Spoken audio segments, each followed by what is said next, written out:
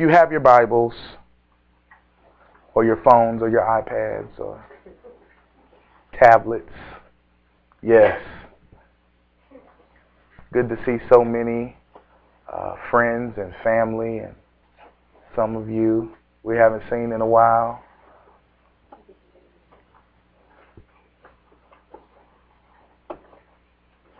First Kings chapter 11 is going to be our canvas for the word of the Lord today.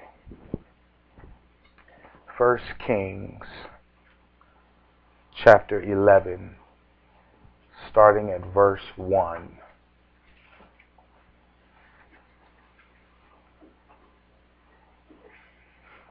Hallelujah.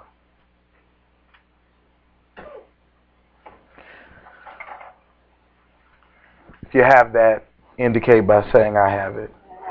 If you don't, say wait. Okay, we'll wait. Amen. You can follow along. The Bible reads, King Solomon loved many foreign women in addition to Pharaoh's daughter.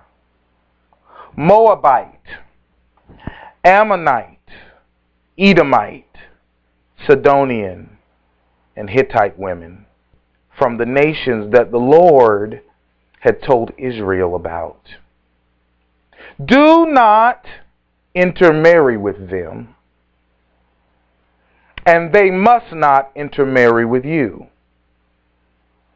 because they will turn you away from me to their gods. Solomon was deeply attached to these women and loved them. He had 700 wives who were prince. Yes. Just ponder that for just a moment. Those of you that have one wife.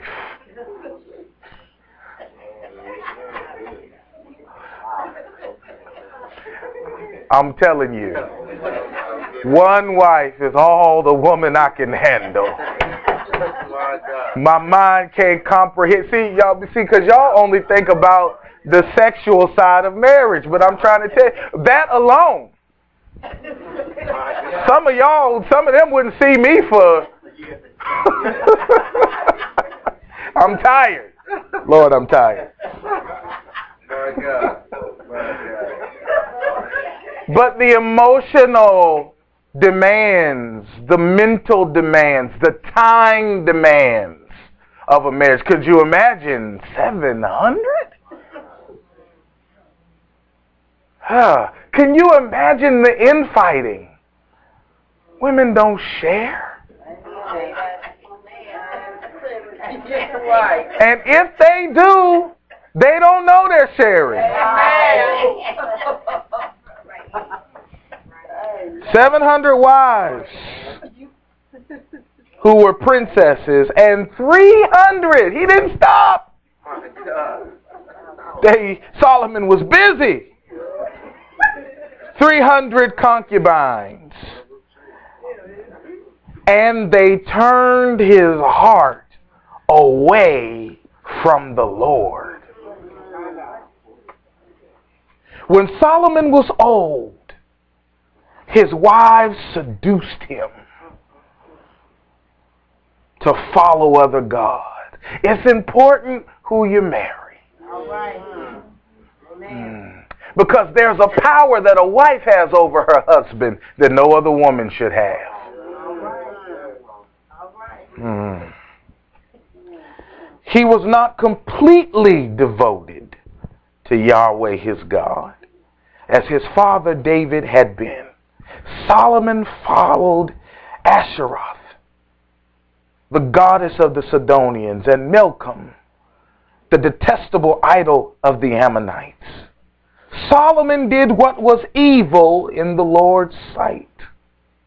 And unlike his father David, he did not completely follow Yahweh. So far, the reading of the scriptures.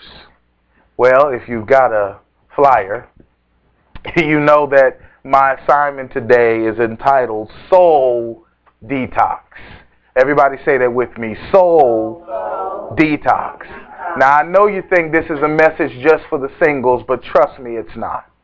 Bow your heads. Father, we come to you in the matchless name of Jesus. We thank you, God, for each and every person that you've pricked and pulled upon their hearts and impressed upon them the importance of being in this service today. We don't believe that anybody that is here is here by accident or here because there's nothing that you have in your word for them to receive today. We ask you, Holy Ghost, that you would come into this place like a flood, that you would fill every empty space and every crevice, that you would sit on this house God, until our hearts and our minds are set ablaze by your word. Until, God, the fertile, to the heart, the heart and of hardness of our hearts is fertilized, God, by your word. That the seed of your word would be planted, Father God, deep down into our hearts.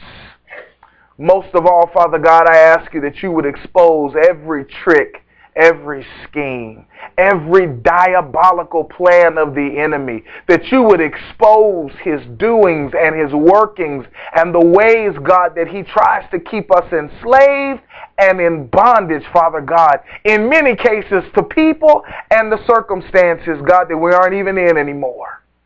And God, we give you praise for this. In Jesus' name we pray. Amen and amen.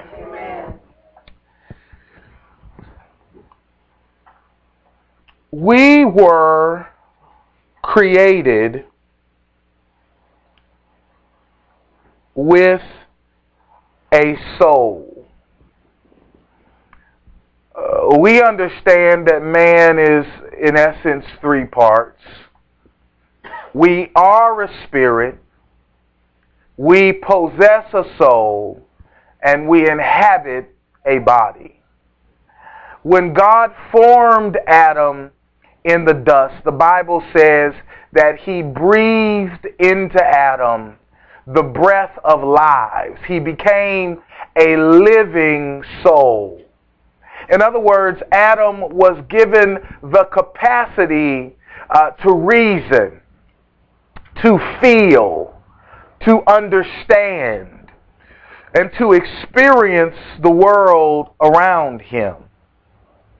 The soul is the thing, uh, the place, the seat uh, where our mind and our will and our emotions ha- are housed.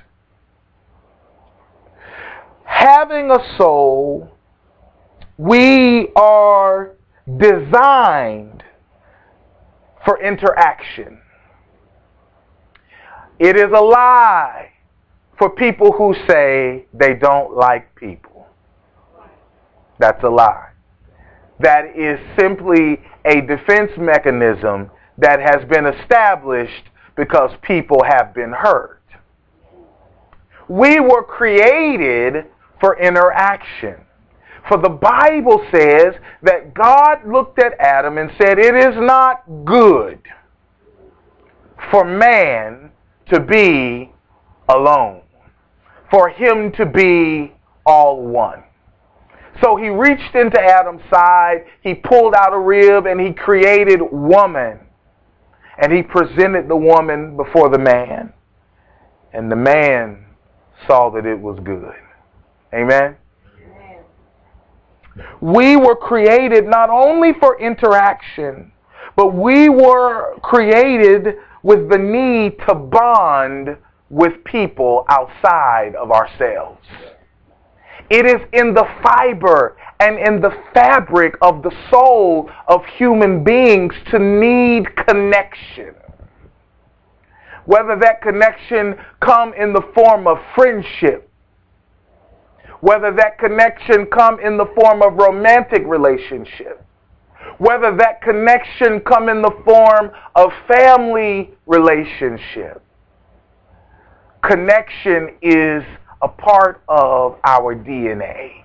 It is a part of who we are. Nobody wants to be alone. I don't care what they tell you. I may not want to deal with you. specifically.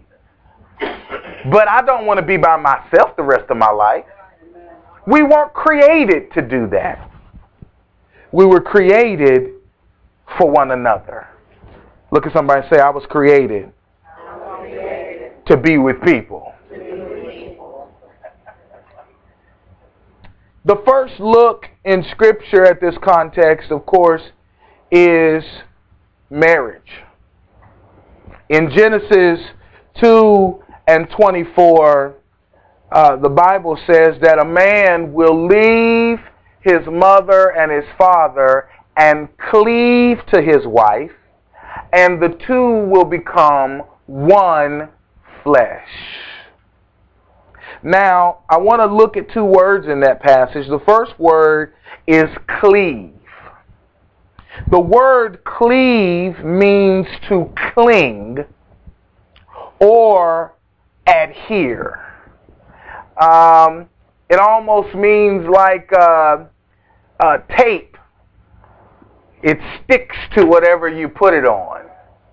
The man was called to be so connected with his wife that he was stuck to her. We're stuck together in marriage. The Bible goes on to say that they would become one flesh.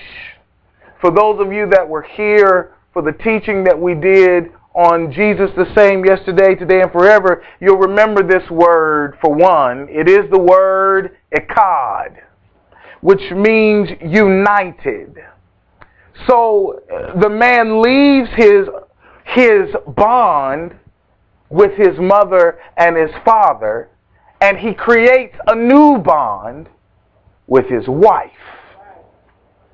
And the two do not simply bond from living together. They don't simply bond by having candlelit dinners. They don't simply bond by in-depth conversations, which you need all of that too. But one flesh deals with the intimate act that brings a man and a woman together and eternally fuses them on a deeper level than what the physical act itself represents. Flesh there is the word Basar. It's B A A S A A R. Or Pudina. P U D E. I had to look that up. I was like, Pudina. what does that mean? But Pudina is the word when we're talking about flesh that actually is talking about the sexual organs. So, uh, you see what I'm saying? So when a husband and a wife come together, they don't just come together in contract, but they come together in flesh, creating that covenant. Their sexual organs come together, creating that covenant further making them one. Now, what we have to understand about our subject today is that the Bible does not specifically use the term soul tie. Neither does it use the term rapture uh, and some other terms that we use that are really more theological terms that are designed to describe an event or a theme in the scriptures. But the concept of souls being tied together is biblical. In the Bible, it may use terms like their souls were knit together. It's the same thing.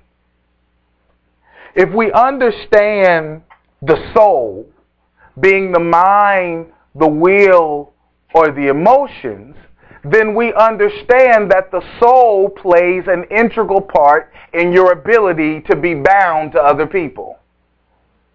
In other words, if uh, if someone is in love with somebody, love is produced in the uh, in the mental and emotional realm. Correct. So part of my connection to you is soulish. Y'all don't hear what I'm saying? That I connect with you not simply on a intellectual level or simply because we are in uh, physical proximity, but for closeness to be established, the bond has to be deeper than that. You with me? All right. Now, though the term soul tie is not in the Bible, the concept is there. So let's let's let's talk about that for just a moment. A soul tie binds two together on a mental and emotional level, causing an external gravitational pull or bond. Have you ever been away from the person you loved and there was just like a little ache? Come on. Some of y'all act like y'all looking at me like y'all ain't never, like y'all ain't never had no tie with nobody. Come on now. Loose, loose, loosen here. Loosen up in here. It's to be painless for you in a minute. But that pull and that longing to talk to them, that pull and that longing to hear their voice, that longing to touch their hand. Y'all don't hear what I'm saying. that is a bond and a tie that is created in the soulish realm. That thing, uh, what's the secular song? Uh, you got me thinking about you day and night. That's the soul. Yeah, Overseer Kevin knows what I'm talking about. That's the soulish realm. Without the soul, it would be impossible to connect to other people in any kind of meaningful way. You with me? So it's a bond that's on an emotional a mental level. From a scriptural standpoint, we see two kinds of soul ties or soul entanglements. We see a godly soul tie, and we see an ungodly or an unhealthy soul tie. Examples of godly soul ties would be with God. How many of you know that God asks for your soul? He said, Love the Lord with your heart, your soul, come on, everything that's within you, your strength. So God says, I want your soul to be tied to me. Not just your mind, not just your church attendance. Come on, come on. I want you to long for me. I want you to desire my presence and desire my word. Yes, yes. That's in the souls, in the soulish realm. Here's another godly soul tie. Fellowship with Christians. For the Bible says that we should be joined, fitly joined and knit together with one another. Do y'all hear what I'm saying? That's in Ephesians 4 and 16. It tells us we need to be fitly joined. We're a body. In other words, there should be a bond in the house of God. Oh, you don't get to love God and hate me. You don't get to call yourself a Christian, yet I don't like the people I worship with. Oh, God, oh, God. There's a level of compassion that you're supposed to have for your brothers and sisters in Christ that you can't have except there be a bond. Except you be knit to them, come on, by the Spirit of God, for the love of God is shed abroad in our hearts by the Holy Ghost. Hmm. You can't even do the work of God effectively if you don't have a bond for the people you fellowship with. See, a lot of times people want to go to big churches because they don't want no bond. They don't want an accountability. They don't want nobody in their business. I don't want to know them people. I want a word and I'm going home. But that is a mindset and a mentality that is contrary to the Word of God. And either we believe God's Word and we're going to live it, or you wasting your time. I'm not going to come here to do what I'm going to do. I'm going to do what I'm going to do. Right. Why live in a bind, honey? Why live in a crib? If you're going to do you, do you at home. Amen. Come in here and got to let somebody preach on your stuff and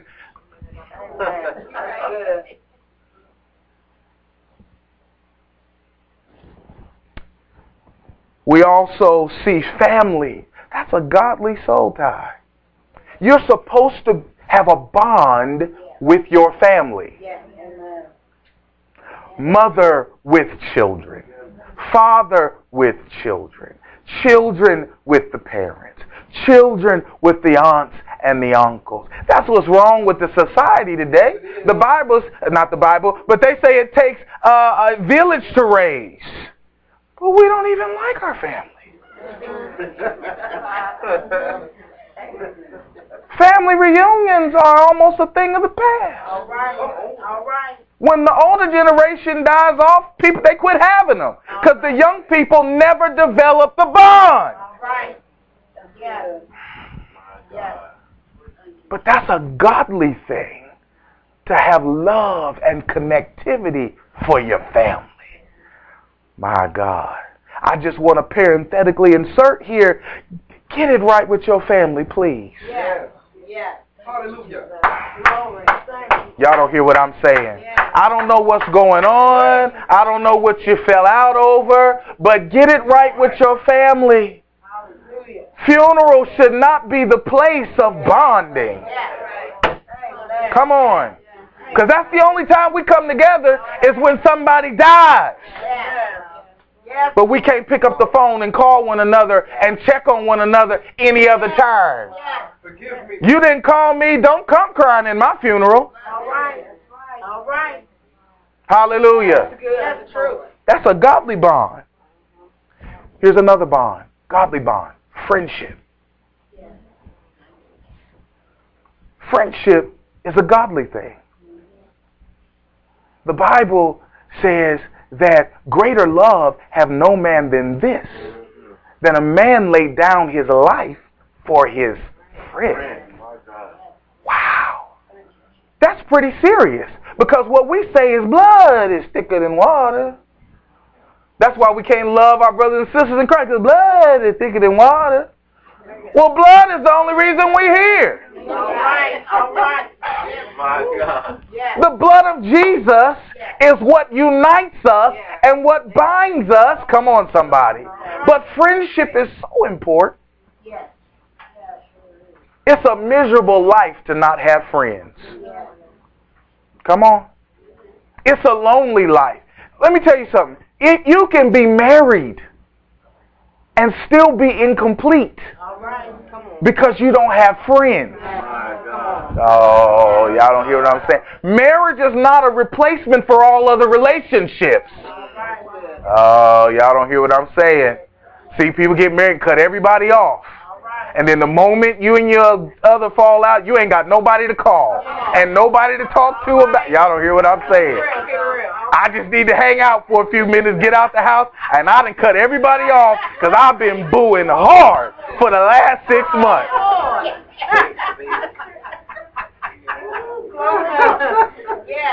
But friendships are important. Family is important. As well as marriage. Everything has its place. Everything has its purpose. And we have to come to a place in our walks with God where we find some balance. Church people are the most imbalanced people anywhere. It's either all of this and none of that, or all of this and none of that. Come on, somebody. And we have to learn how to live balanced lives because it's the balance of life that creates wholeness and fulfillment. It's the balance of, come on, y'all. It's the balance of life. You can't be walking around mad all the time. That ain't healthy. You got to be able to laugh sometimes. You got to be able to have a little joy. It's okay to be a little sad every day. The balance of life, everything in its place, everything in its season, everything fulfilling its purpose. That's right. That's right.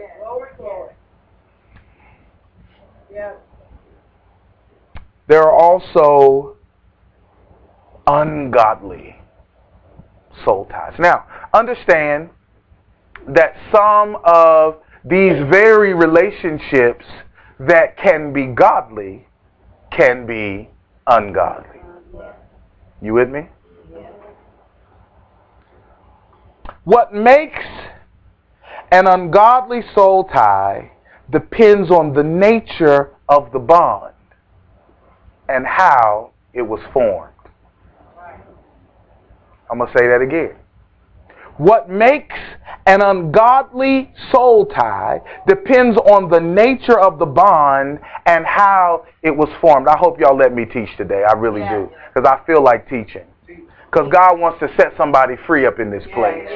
Do you hear what I'm saying? If you're wondering what this message is about, if your soul is cluttered and entangled and embittered with all kinds of gook and junk and stuff, from relationships and friendships and betrayals. God wants you to be free. My God. My God.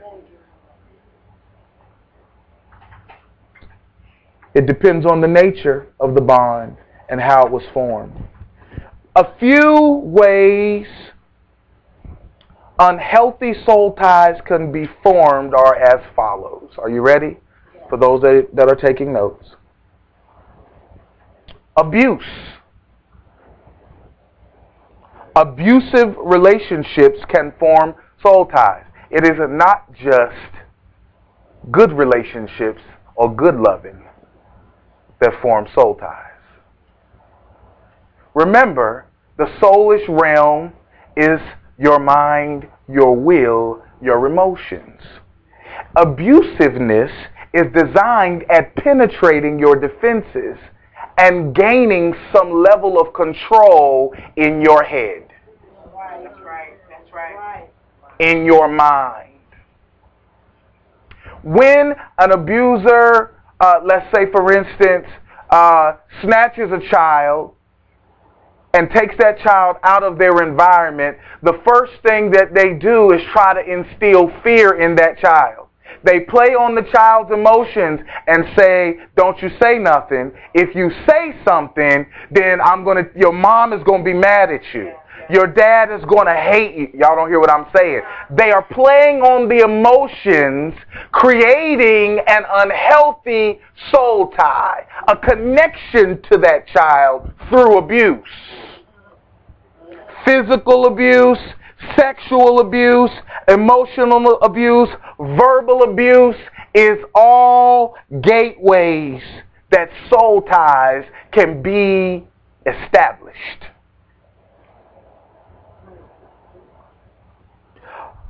Adulterous affairs. That's another way that a soul tie can be established. In adulterous affairs, there is emotional connection. Many times there is sexual connection with someone that is in covenant with somebody else.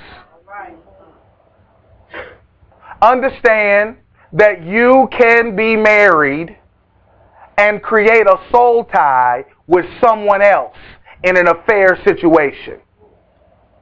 You see what I'm saying? A bond. Let's go back to the definition. A connection. A link. A longing. A pulling that pulls you continually into this person's gravitational pull. Though you know it's wrong, though you know they're not yours. Sex before marriage. This is another one. That's slightly different than an affair, or an adulterous affair, because you can be it can be two single people that's not in a relationship with anyone else. But sex before marriage creates soul ties. It causes you to illegally form a bond that was designed and designated for the marriage relationship. Y'all don't hear what I'm saying? How many people are you have you become one with? Mm, right. Hallelujah. How many people have you become one flesh with? How many people have you given a little piece of your soul over here? A little piece of your soul over there. A little piece of your soul down the street. A little piece. See, soul ties breed internal turmoil. Internal confusion. Y'all don't hear what I'm saying. Instability. Because there's a little piece of you everywhere. There's a million man march in your soul. Or a million woman march. Because soul ties are not just about women. Men can establish soul ties also. Come on. See, the women been getting it hard, getting beat up here the last two weekends because there's been a lot of women ministering, so they kind of focusing where their comfort zone is. But brothers, we're not exempt. And you being married doesn't mean you're exempt, and it doesn't mean it can't happen to you if you don't guard your soul. All right, right, all right. Yes. Hallelujah. See, that's what we do. We take our guards down. We get married, we take our guards down. We don't think that applies to I got a wife. Da, da, da. I'm safe. Wrong. The devil don't quit because you married. All right. He don't care nothing about you being married. He don't care nothing about you being a preacher. He don't care nothing about none of that. Amen. So sex before marriage, that's a gateway to forming an unhealthy soul tie. I wonder we can't get away from people. And some of some some people have a circuit. No, no, I'm serious. So when this ain't going good, well, there's another tie. So I'm pulled that way. And then when that ain't going good, that's all right, because there's another tie. There's another bond I have. I have a connection with all of these people. Y'all don't hear what I'm saying. God, my God.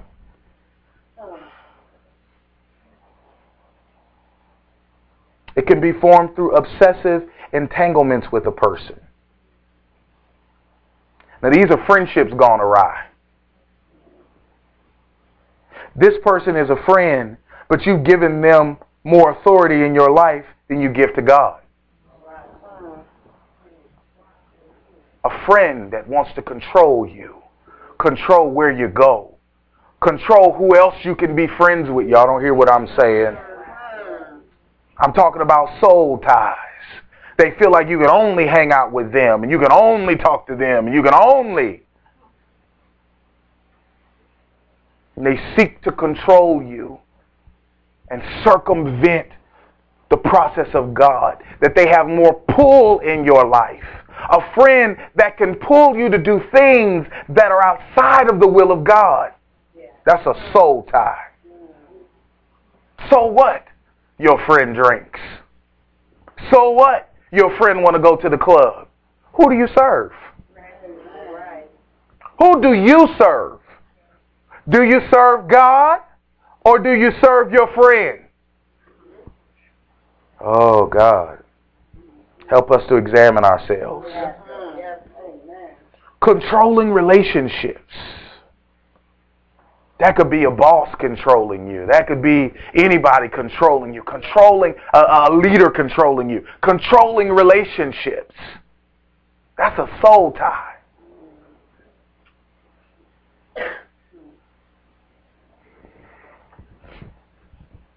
And it's unhealthy. Now, let's go just let's go just a step deeper. Vows, commitments, and agreements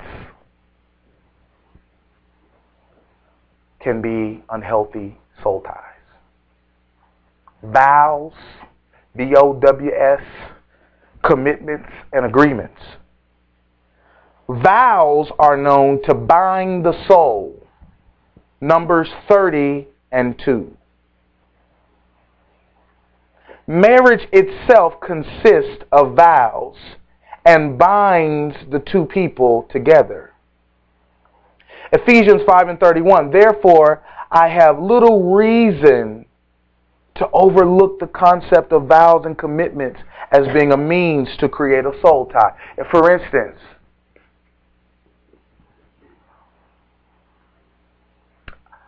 I'll never love anyone the way I love you. And you ain't married. And you're in a sinful, ungodly relationship.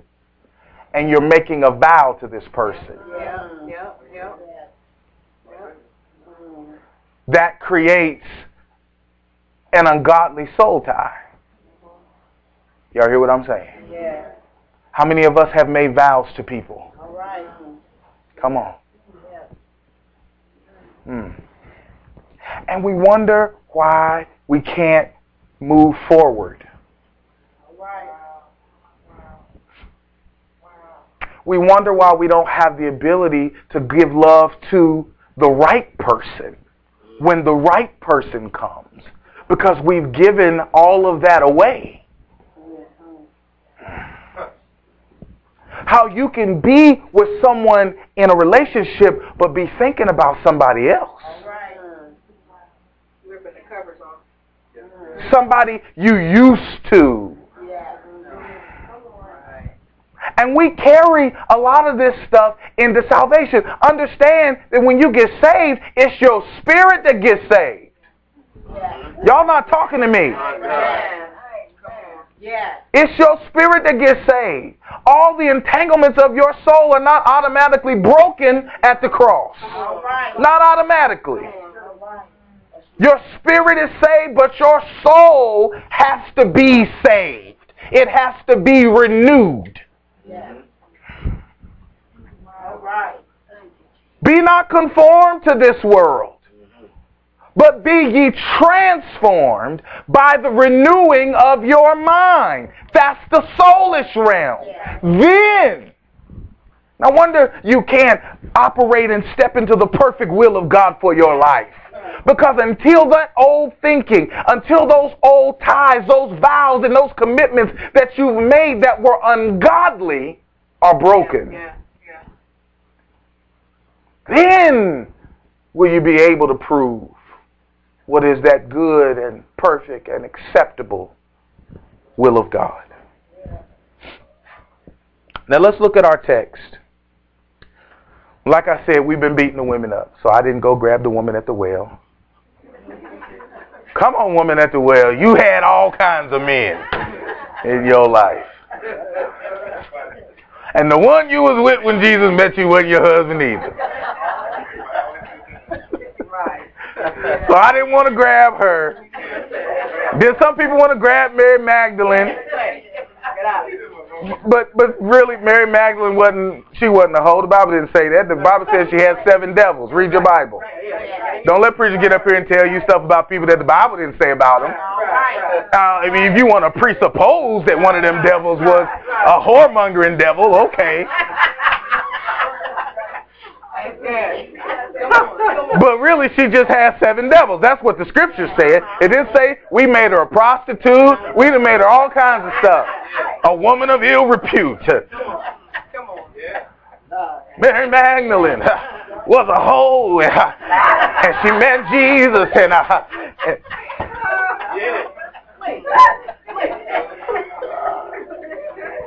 so I didn't pull on Mary Magdalene. She didn't fit anyway.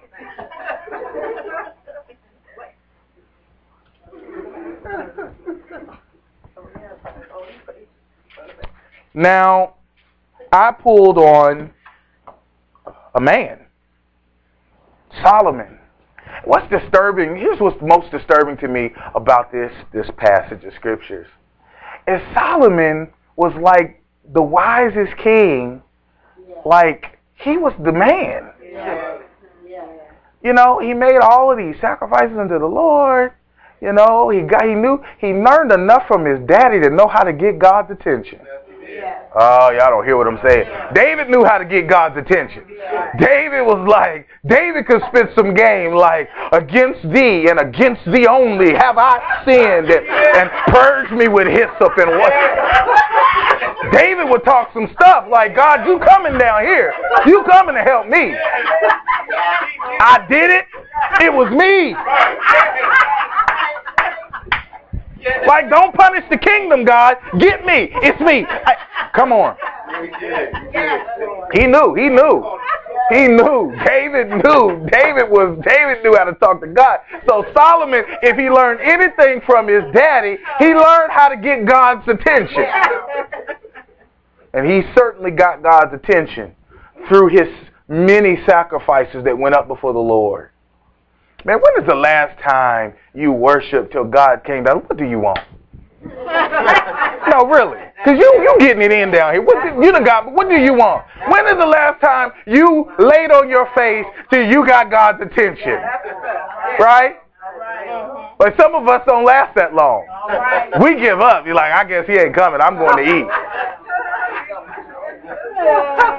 He ain't said nothing. I'm just, well, Lord, we'll try again tomorrow. No. Solomon did not stop sacrificing it to the Lord. And the Lord came like, boy, you must, what, what do you must want something? What do you want from me? What I got to do to bless your life? And Solomon flipped the script. He didn't ask to be rich because some of us would ask to be rich. If the Lord came down like a genie in a bottle, you'd be like, give me some money, Jesus. I'll take a man, Jesus. Big household oh God. I mean, you know what I'm saying? It's like, like really. Like if God came and asked you whatever, ask me for whatever you want. How many of us would say, I, I, I just want to know you? How many, like really, seriously? Right. That might be like sixth or seventh down on the list. Oh, and by the way, I'd like to know you a little better. Right. Right. Solomon said, I want wisdom to judge your people righteously. Mm. Like, really, Solomon? You're spitting like your dad. That's how your dad talked to God. And God said, because you have asked for this right thing, this good thing, I'm going to give you all that other stuff too. All right. So not only was he, he the most wise man, he was the richest man. Yes. I mean, his kingdom, his the palace, some of the, the, the, the sights and sounds of the halls and courts of Solomon was, you know, the hanging gardens, just, you know, the, the, the things that this man had, it was mind-blowing.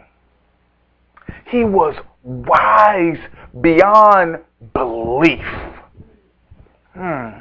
What could you do with just a little more wisdom? All right. All right. Yeah. Oh, y'all don't hear what I'm saying. You don't need no money. You need some wisdom. Come on. You don't need a new car. You need some wisdom. Because if you got some wisdom, some of the mess you in, you could get it figured out.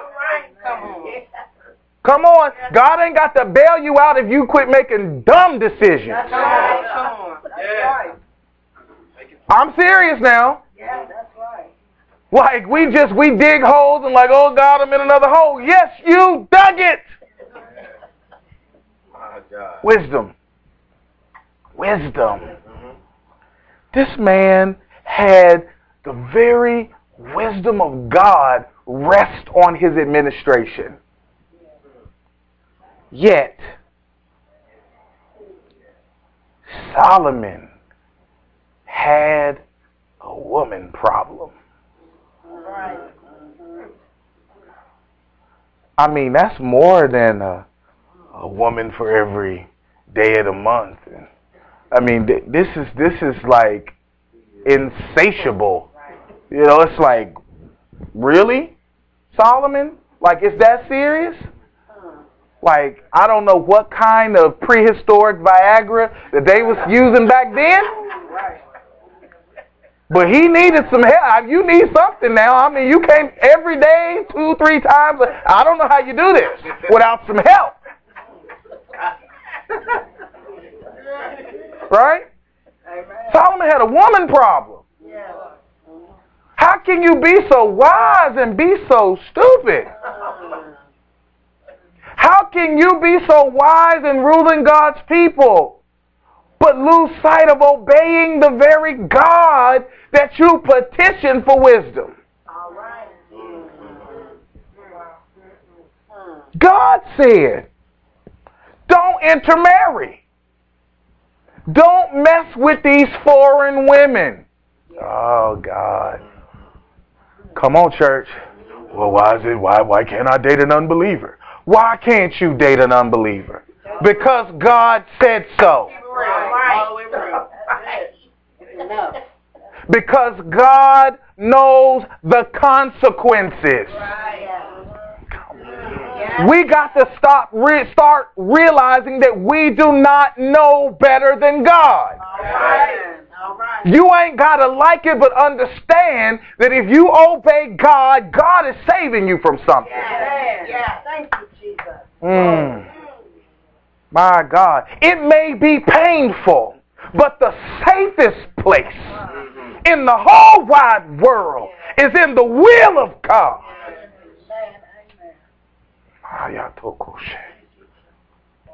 It's the safest place. God said, do not intermarry. Don't let them intermarry with you. Here's why. God even told him why. Because they will turn your heart away from me to their gods. See, a person who you create a soul tie has a power with you Yes. Come on. that nobody else has. Yes. My God. A person you have a soul tie with will contin- continually put you in compromising situations. Yes. All right. All right. A person that you have a soul tie with will make you go against your better judgment. Y'all don't hear what I'm saying. A, a, a person that you have a soul tie with has a pull in your soul and on your mind and on your heart that nobody else can pull it like this. Yes. Yeah. Yeah. And if you are bound to, and see, this is why we got to be bound to believers because the idea is, is that if we are bound to a believer, we're pulling each other into God. Come on. We're pulling each other into obedience. We're pulling each other into prayer. Y'all don't hear what I'm saying? We're pulling each other. Yes, yes. Hmm. My God. I'm encouraged. No, we can't do that. I got to go home. Come on. Y'all don't hear what I'm saying? Ah. Yes, sir. Yes, sir. Good. But but when you start messing and intermarrying with those who God has forbidden. God understands you are not strong enough. God, y'all don't hear. You think you're strong. I told you, some of the most dangerous words that you can say is, I can handle it. All right. Mm. That's been the downfall of a many a man and a many a woman. I can handle it. I'm okay. It's all right. I know what I'm doing. Y'all don't hear what I'm saying. But you don't know what you're doing. You got to understand that the heart is deceitful. It's desperately wicked. And God knows this. Who can know it? God knows it. God. Knows the games that the heart plays. God knows the cinema of the heart. Oh, y'all don't hear what I'm saying. God knows how the heart has the ability to bend the truth. Ah, God knows. God, help me, help me. God said you got to be careful who you bond with. You got to be careful who you give your heart to. Solomon, don't mess with them women.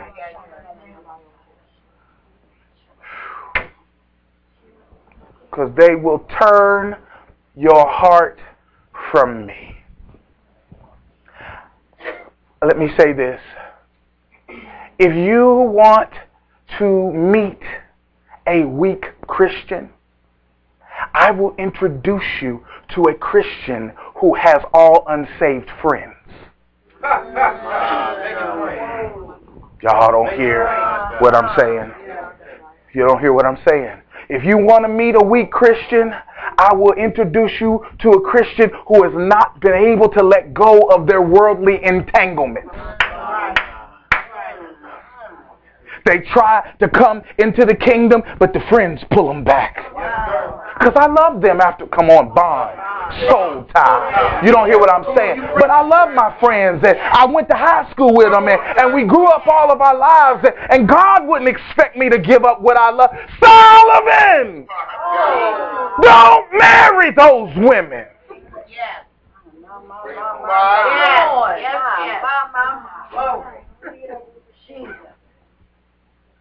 They're going to turn your heart from me. Y'all don't, y'all don't hear what I'm saying. Oh, God, help me.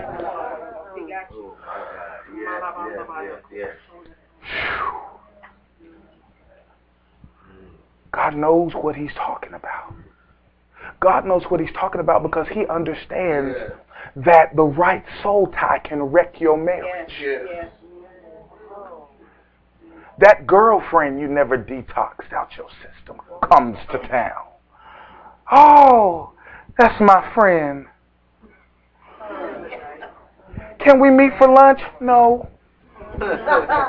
No. No. Because when I was with you, we was in sin. Y'all don't hear what I'm saying. I don't know where you are. I don't or if we go to lunch, sure, me and my wife. Yeah, come on now. Soul ties.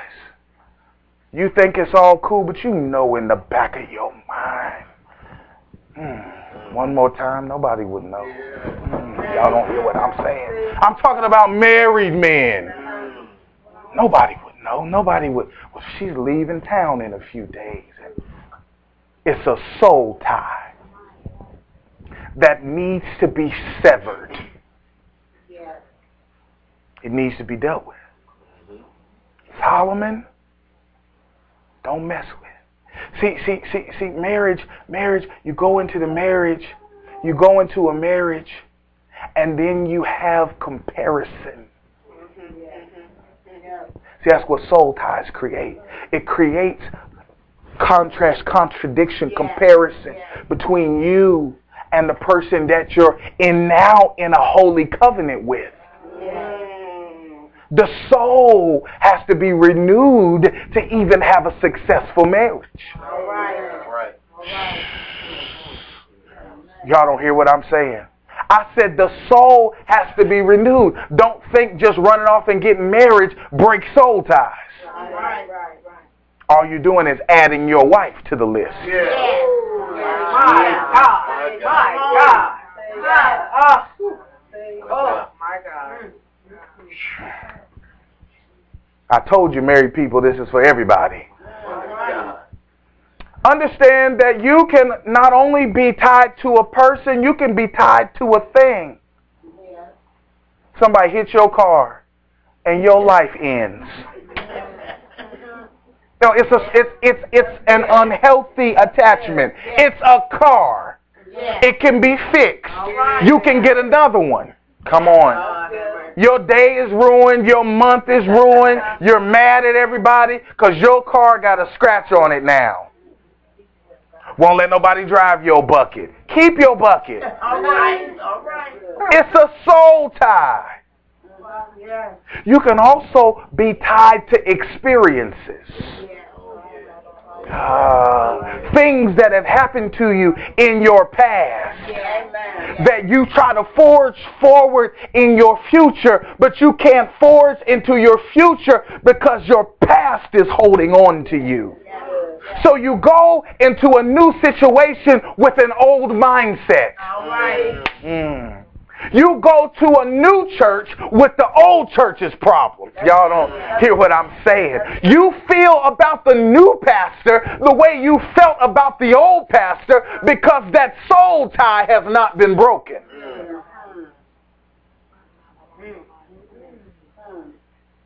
You didn't do it, but in my mind you you have. In my mind you just like Jim. Oh, come on. Come on. Come on. See, people don't realize the complexities of the soul and of the heart and of the mind that we're wrestling with that's inhibiting us in our current situations. Why is a soul detox necessary? Why? It's necessary because it prevents you from serving God totally and obediently. You cannot serve God completely when you have other entanglements, particularly those that are unhealthy and ungodly.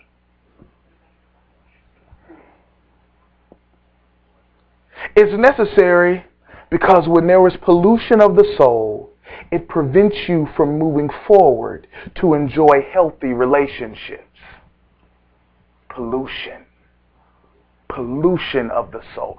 So many Christians' souls are polluted. That's why we can't, that's why we come in here and we can't get along. It's pollution. It's called toxins and it's surging through our heart and surging through our minds behind our praise the Lord. Um, God bless you. Uh, blessed and highly favored. And um, who she thinks she is.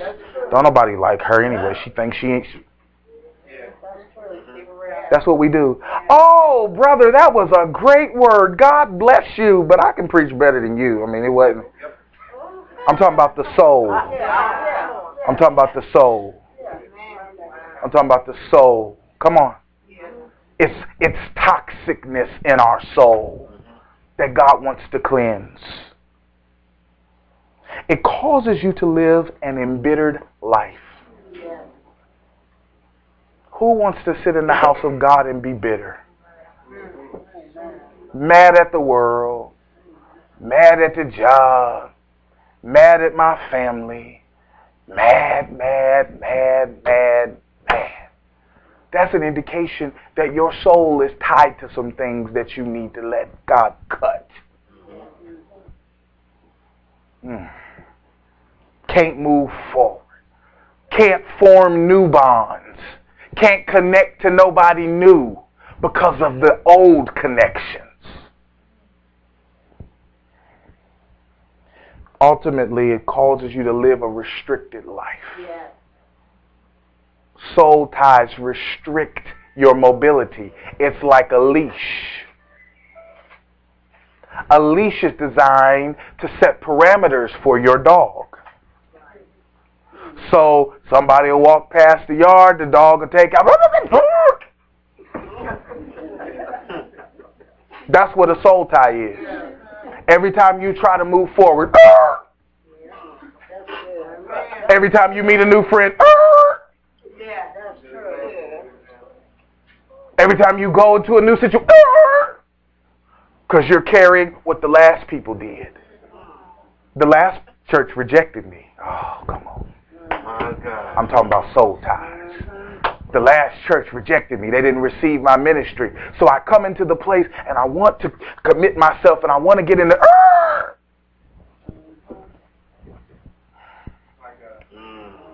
I want to love you. I want to be with you. I want to come. Soul ties. How do we get free? I'm glad you asked me that. How do we get free? Because that's the million dollar question. Okay, we know we, we jacked up. We know we know that there are issues. We know that there are things that God wants to do in our soul, but how do I get free? Number one, y'all ready? If any sins were committed to cause this soul tie, repent of them.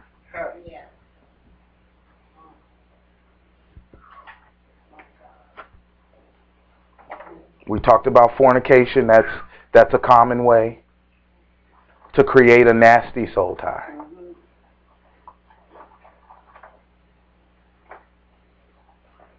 That's why people is get get their heads beat in and keep going back. That's why people, you know, he cheats on you and and she keeps going back and you, to to you it doesn't make sense like any sensible person. But when there's a soul tie, what makes sense isn't sense anymore. Right. Wow. My. because I'm being driven by the bond.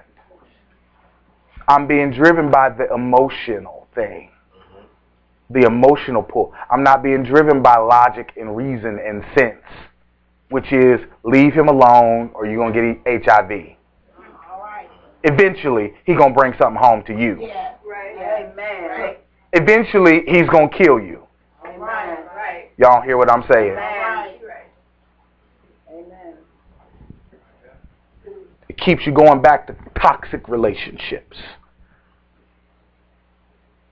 And if for no other reason, maybe he ain't beating you. Maybe he's not cheating on you. But the relationship continually draws you into disobedience. It's toxic. It's that simple. Number two, if gifts were given to you by the other person in connection with the sin or the unholy relationship, such as rings, flowers, cards, uh, underwear, etc., get rid of them. Such things symbolize the ungodly relationship and can hold a soul tie in place. You know, when the right song goes on and you go and just want to look at the stuff. Y'all ain't together. Come on. I want to look at the card and just sit there and cry.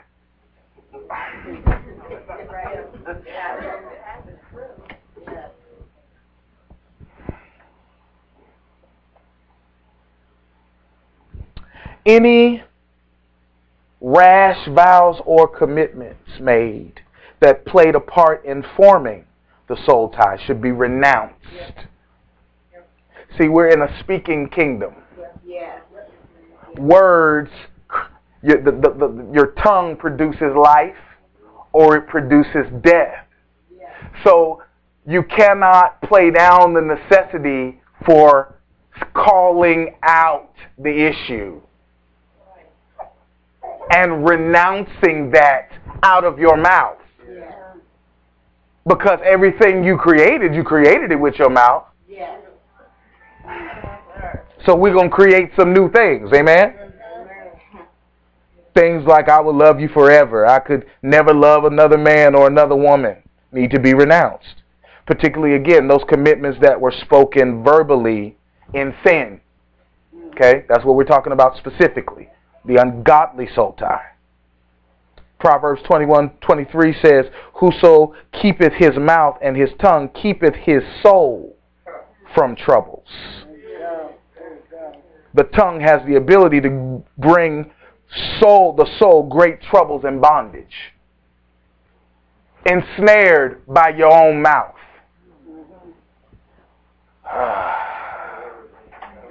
I can't live without you. Really? I can't live without him. So all of a sudden, when the relationship goes sour, thoughts of suicide come. Mm. I'm in the house. I can't live without you. You spoke a vow. And you opened up the door for the enemy to come in. Here's the next thing. Forgive. Forgive that person if you have anything against them. Unforgiveness enables soul ties. If I'm still angry with people and I haven't let people go of their offenses to me, it keeps me tied to them. They've gone on. Some of them have died. But I'm still tied to what they did to me. I'm still hurt by what they did to me. I still function because of what they did to me. I live a certain kind of way. Y'all don't hear what I'm saying. I think and I approach things a certain kind of way because of what they did. But forgiveness does not free them, it frees you. You got to let it go. Touch three people and tell them, let it go today. Let it go today. Let it go today. Renounce the soul tie. Do this verbally in Jesus' name. You can say something like, I renounce and any ungodly soul ties formed between myself and as a result of in Jesus' name. I renounce it. I reject it. I disallow it. Y'all don't hear what I'm saying. And lastly, break the soul tie in Jesus' name. Do it verbally. You have authority in the name of Jesus. You have authority as a child of God to break soul ties. You break it and you call it out. We are notorious for wanting to be general in church. So what do you need prayer for? Well, I just, you know, pray for my strength in the Lord. No! No. You came to this altar for a reason. What is it? Call it out. Identify it. Call its name. Y'all don't hear what I'm saying. The devil hides in secrecy. His greatest ally in this world today is he doesn't exist. All right. That's his greatest ally. Amen. Whatever you cannot confront, you cannot conquer. All right. Yes. Whatever you cannot confess, you cannot be healed from. If it still hurts, it still hurts.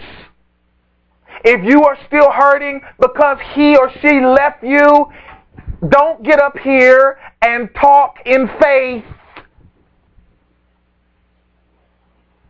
as if it doesn't exist. Faith is being able to admit it and release it and invite God into the situation. That's faith.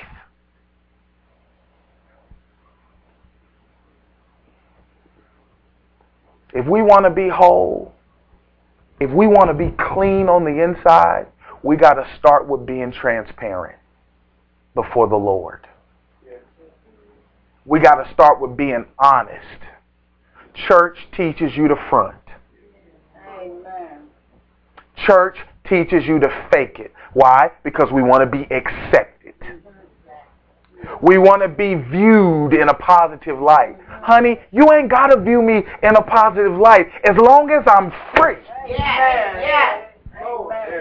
You don't have to view me in a positive light as long as I don't have to keep walking around carrying this stuff. Yeah. You want to talk? Go ahead and talk. You don't think I'm called? Oh well. You didn't call me no way. All right. All right. Come on now. This is how we have to get serious about our growth in God. We got to get serious about it. Trust and believe. I don't care what it looks like. It's dressed up. It's got suits and nice ties and everything on. Everything in here got something God is working on. Right. Everybody in here. Yes. He's going to be working on us until we leave up off this planet. Right. You are not in your glorified body. Yeah. You are, come on. My God. Yeah. Tell the truth. We've got temptations and we've got troubles and we've got challenges and we will have them until Jesus. He gave us a helper because we need some help. That's right. Yes. Right. What you need the Holy Ghost for if you don't need no help? Yes. Yes. Oh, for power. Power is the last thing you need to worry about right now. You need to worry about some help. Yes. Yes. Amen. Power is a secondary consequence. We focus on the power of the Holy Ghost and the gifts of the Holy Ghost, but we don't focus on the help of the Holy Ghost, inviting Him into our weaknesses, right. inviting Him into our infirmities, inviting Him into our struggles. My God. Today, I want us to take off mask. I want us to take off pretense. I want us to take off titles. And I want us to get real with God. The soul is important to your ability to successfully serve Him. It's important. God wants your soul unencumbered. He wants you to be able to go on and love right and live right and move on with your life. To come out of the past, to come out of the tombs of the things that you've been through. There was a man, he was possessed with a devil. I'm closing. And he was cutting himself, throwing himself into the fire. And the Bible says that Jesus came and Jesus spoke to his situation. Here's the beautiful thing. That after this, the Bible says the man was clothed and in his right mind. When Jesus comes, he doesn't come just to do a part-way work. He doesn't come to fix up your spirit and buy you some church clothes. He comes to deal with our minds. He comes to deal with our hearts. He comes to deal with the things that make up who we are.